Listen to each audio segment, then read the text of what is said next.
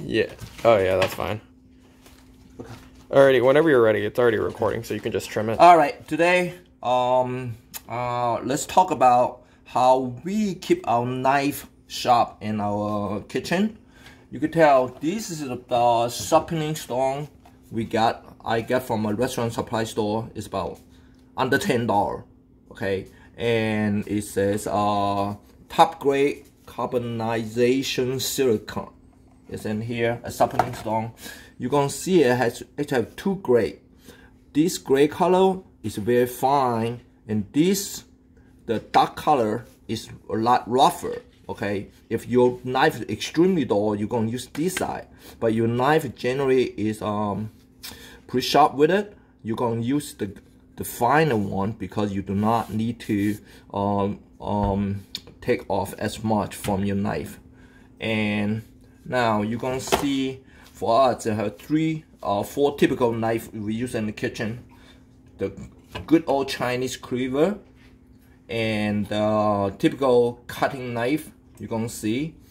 And this is more like fillet knife. And then of course have a small uh, paring knife and things like that. And the way to determine we determine how whether my knife is uh, sharp or needed sharpening I usually take it out like this and then put my finger right next to it and look straight down okay? If your white your knife is real sharp you are not going to look down there you almost see no edge to it.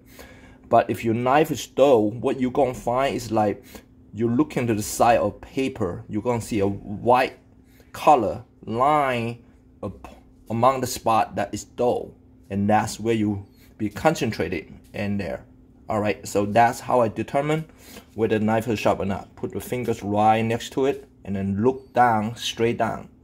Do I see a white color or line or not? And that's one good way to determine whether your knife knife is real sharp or um, that needs sharpening or not. All right. Alrighty, whenever you're ready. Okay, now, uh, some people use oil to sharpen the knife. I just uh, put in the sink, have a running water, dripping water in here, you want to keep the sharpening stone wet all the time, whether it's using oil or use water.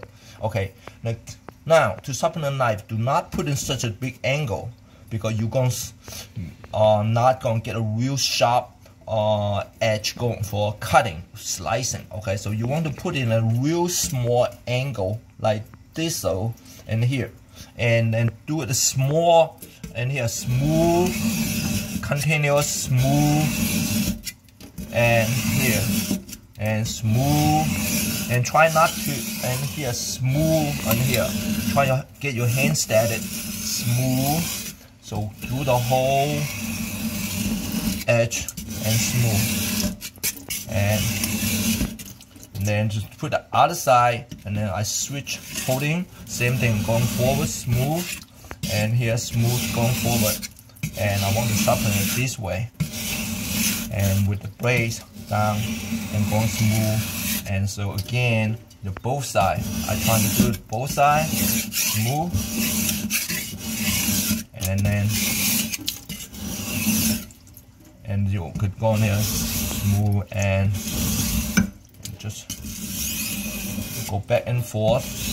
And then you could go in there again to to determine so this knife is pretty sharp to start with it. I really did not and here so it doesn't take long. So that's my my mid curve and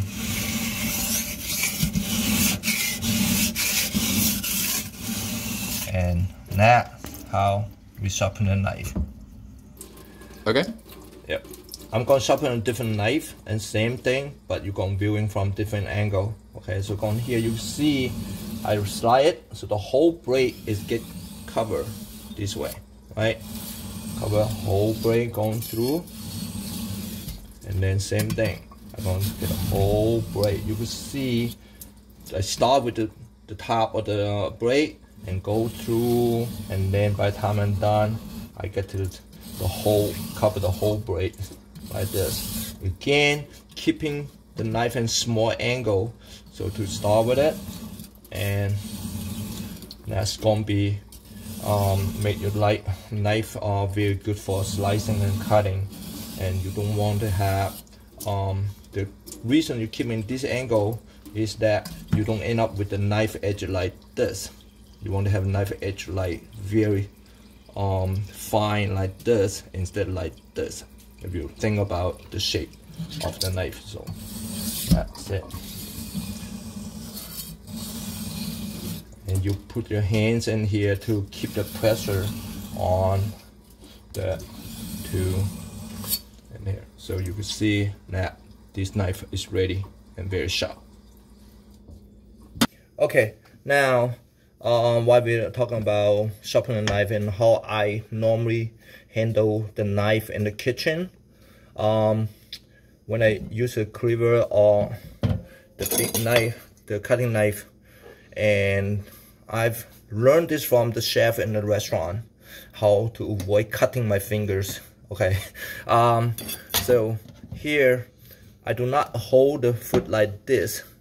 I need to hold the foot like this and here. So when I cut, so instead cutting like this, I gonna cut it here. You see the blade going in here. So my fingertips away from the sharpened part, and then my knuckles once to guide the whole thick. My cutting is gonna be like this, one down.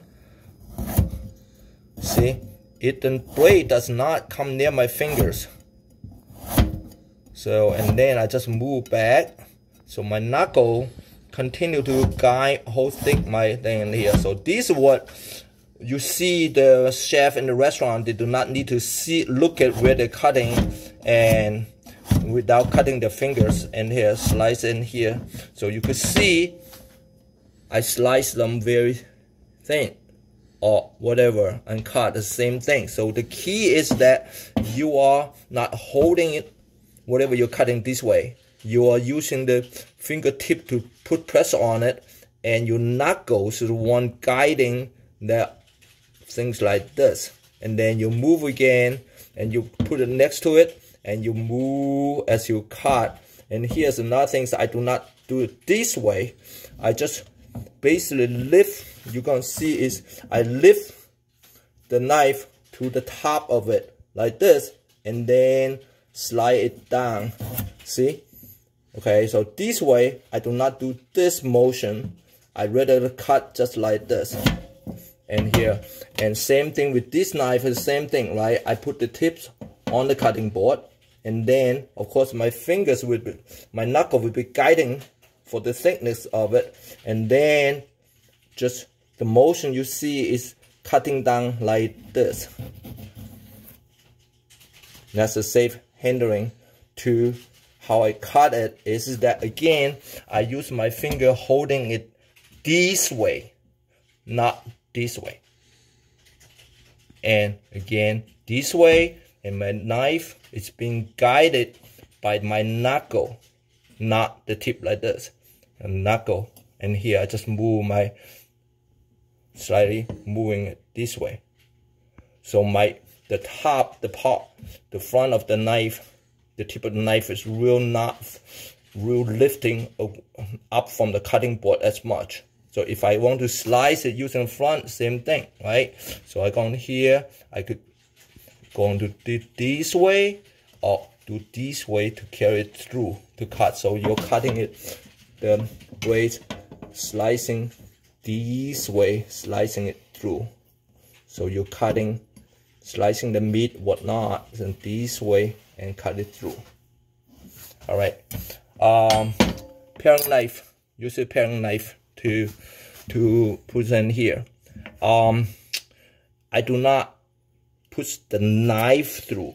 Not putting the knife through to cut. I going to actually move the whatever I'm cutting through. I pull my knife is hold static. My thumb's here, and I just pull the part through. You see, the knife is static over here. I pull this through and I pull the carrot through on this part. I do not slice the blade this way. I actually pull my carrot backward. So to slide, you see, I slide this way. I accomplish the same thing. Instead of moving the blade forward like this, I pull the carrot backward. See, this way I could go in here. Or sometime if I do not want to cut through, I use the thumb, I hold it in here, use the thumb to push the blade down.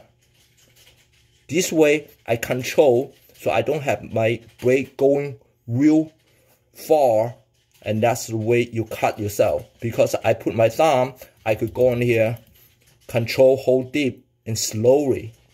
Even you accidentally cut yourself, it's not going to be very deep because you're going to feel the blade to your flesh as soon as you touch it. So that is the cutting over here. You're sliding that way. Okay, same thing I'm going to do peeling the apple. So I'm going to peel the apple in here. Again, I'm rotating the apple. I'm not rotating the blade. So I'm rotating the apple through in here. You see, my, my blade is stationary. So my apple, my left hand is rotating the apple to peel the apple over this way, right? So you could see, so I do not have the sliding blade. So the blade is not going this way to cut it. It's actually my blade is stable and I just rotating the apple through. And that's the fun with knife today.